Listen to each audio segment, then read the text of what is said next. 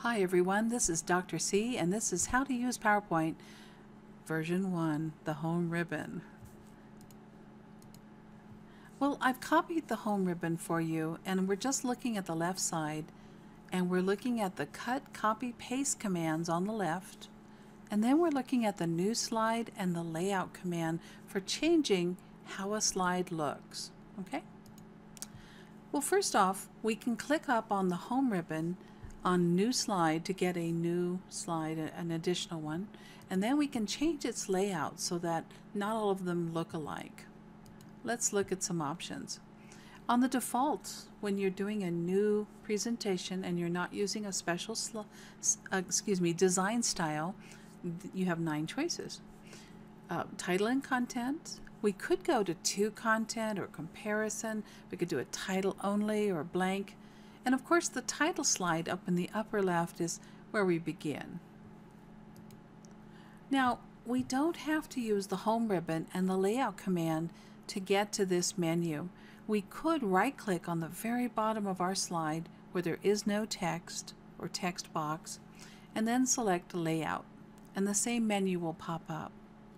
Well let's try this out. I'm going to um, come out of the presentation, go to the home ribbon and I'm going to select new slide. Okay. Now what if I wanted a two content version? I can right click here on the bottom, say layout and new slide, or I can click up here at the very top and select two content. Now here's my content. So let's say I want to grab all of these. Mm -hmm. So I'm going to copy them and bring them over and put them there. But what if I want half of them to be on the other side? Well, I'm going to select the bottom five, cut them, and I used Control X, by the way, but I didn't have to. I could have come up here on the upper left and selected the cut command, right? And then I could drop my cursor on the right and select the paste command in the upper left, which is the same as Control V. On a Mac, it's Command V. And there it is. Okay. And then of course I have to add my title, right? Home ribbon. and there we go.